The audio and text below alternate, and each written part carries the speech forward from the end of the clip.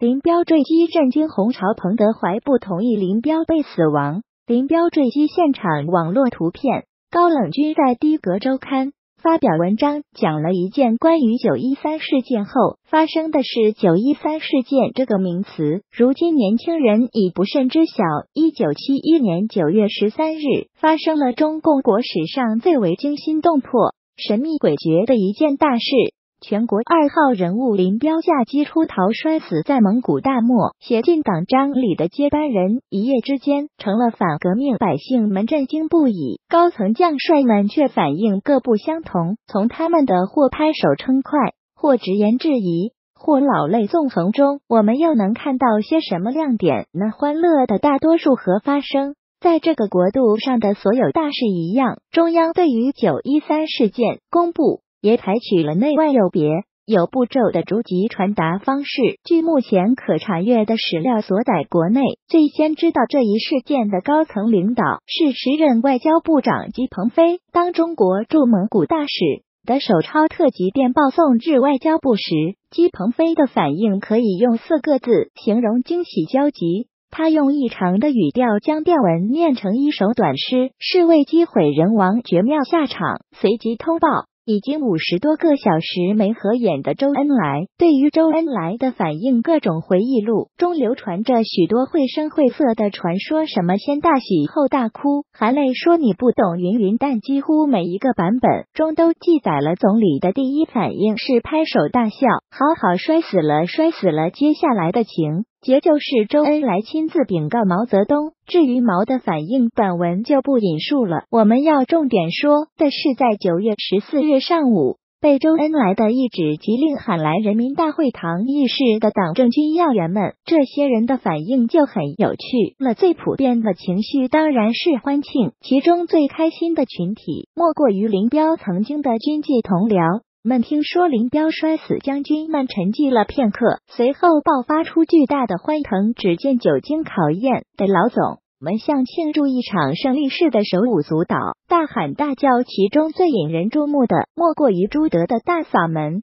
老天爷有眼，老天爷有眼！”另一位脾气不小的老总陈毅，此时正卧病在三零一医院，虽然未能在第一时间分享这种。快乐，但得知消息后同样欣喜若狂，甚至在病榻上高举茅台酒欢呼胜利。我们来看看亲眼目睹这一幕的驻法大使黄振是如何描述胖帅之喜的。我永远忘不了老总脸上凸现的红光和那细眯的眼睛里一半含着轻蔑，一半含着微笑。赞助商链接，赞助商链接。要知道，胖帅此时已是病入膏肓，四个月后就去见马克思了。但在不久之后批判林彪的大会上，他硬是带着癌症之身，义愤填膺的连续做了几个小时的接灵报告，把四五十年前南昌起义时的陈谷子烂芝麻都拎出来编了一番诗，足见恨之深责之切。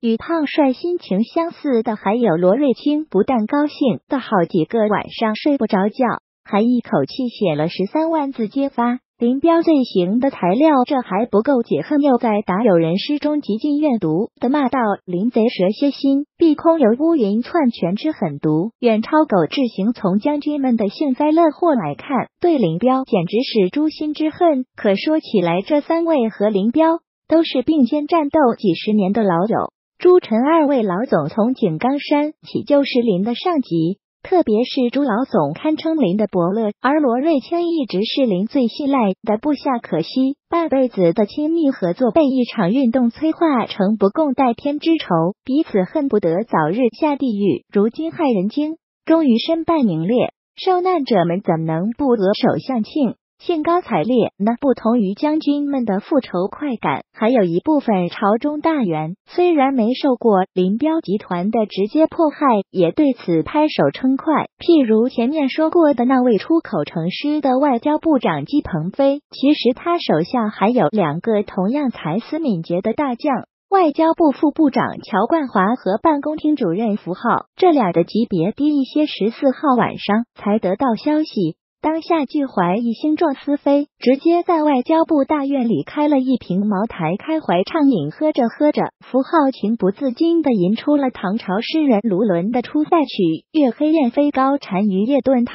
欲将轻骑逐，大雪满弓刀。乔冠华听后意，上心。来将手中的酒一饮而尽，数就不如编新。我把这首诗略加改动，且看如何。于是朗声念道：“月黑雁飞高，林彪夜遁逃。无需轻骑逐，大火自焚烧。”这四句诗想来，乔老爷自己是很满意的，因为之后此诗不胫而走，风传京城高干轩，就连郭沫若大才子也对此赞不绝口，还欣然命笔。将这四句诗挥毫写成条幅，馈赠众多好友逢人，就夸乔老爷改得好。由此可见，当时大多数领导名流对于林彪之死的态度，都是幸灾乐祸的。清醒的少数，所谓清醒，其实指的是一部分没有过度欢庆的人。之所以不盲目欢庆，是因为他们从事件里看到了比旁人更多的东西。这里集中说两个知名度最高的人。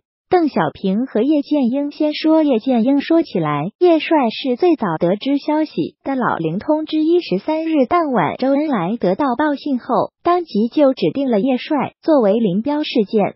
善后和战备事项的负责人，赞助商链接，赞助商链接。大家若是对红史稍有了解，就会知道叶剑英是党内为数不多的著名聪明人。双 Q 和政治经验完报其他九大元帅直追周恩来，叶帅对于林彪事件的反应集中体现在他在事发后不久写下的《赤林彪》。一师中铁两南飞探卫成庐山中古县威灵仓皇北窜埋杀去地下应残害李陵。说来叶帅到底是党内数一数二的诗家，区区二十八个字中至少包含了三层意思：第一，批判林彪叛党叛国罪行，跟中央统一口径、统一立场；第二，用含蓄的手笔赞扬了毛泽东，同时表明自己的忠心。第三，用李陵将匈奴的典故反衬林标之二心高瞻远瞩，又不失旧体诗的古雅凝练，其作品深度与个人韬略完美匹配，远不是什么林贼蛇蝎心之类的大脏话能比的。然而，这首诗虽然高明，却没有完全反映出叶帅对林彪之死的真实态度。欲知真相如何，请看接下来这段经典对话。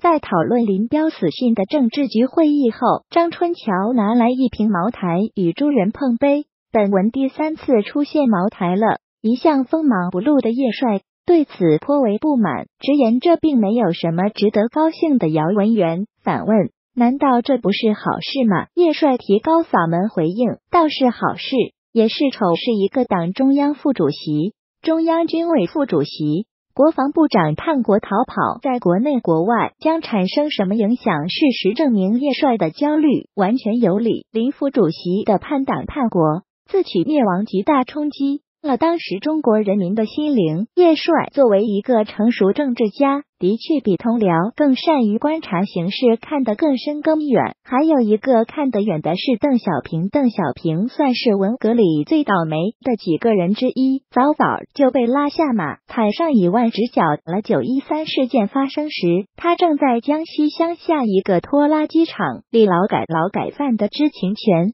是当然不能跟朝中大员们相提并论了。邓小平得知林彪死讯时，已经是两个多月后的事儿。当时，小平夫妇和全场八十多名工人一起收听中央文件，因为监视人在场，邓小平全程一声没吭。回家之后，夫人特意。倒了一小杯酒，邓小平接过酒杯，只说了一句话：“林彪不死，天理难容。”邓小平的感慨虽然惜墨如金，接下来的行动却是如风雷。虽然远在千里之外，邓小平却敏锐的闻到了中南海畔的气候变化。于是他接连给毛泽东和中央写了两封长信。大谈到自己对林彪的看法，一方面坚决拥护中央对于林彪反党集团的决议，一方面揭发批判了林彪过去几十年内的各种反革命阴谋诡计。这两封信的结果和后来的历史，活在今天的你我都很清楚了。可以说，林彪的死，事实上给邓小平的政治生涯。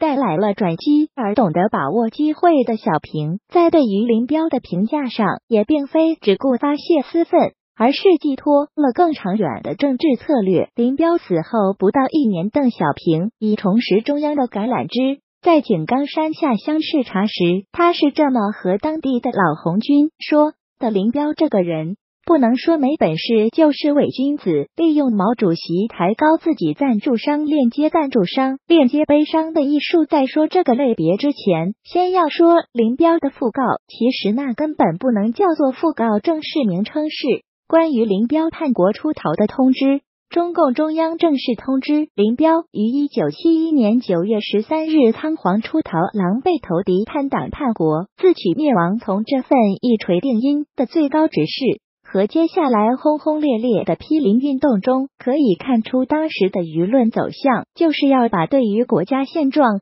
的所有愤怒统统撒。在死去的林彪身上，一时间林彪被妖魔化到万劫不复的境地，战争年代的一切功绩亦化为乌有。他的死俨然成为中国历史的一大幸事，不少利益相关者更是争着抢着在这件幸事中添砖加瓦。但有一个人没有这么做，你们也猜到了，就是彭德怀。彭作为比小平更惨。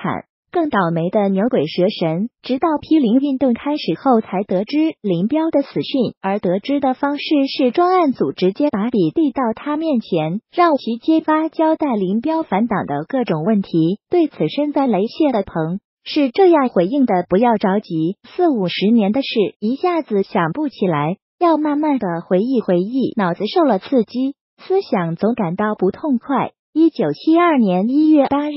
他们要我写林彪和高岗的材料，我不清楚。一九七二年六月九日，其实彭老总的记性好着呢，同样是在狱中，他在没有任何参考资料情况下写了我的自述，便叙数十年间大小人生事。这里之所以不清楚，多少是有些误伤其类。所以思想总感到不痛快，不愿落井下石。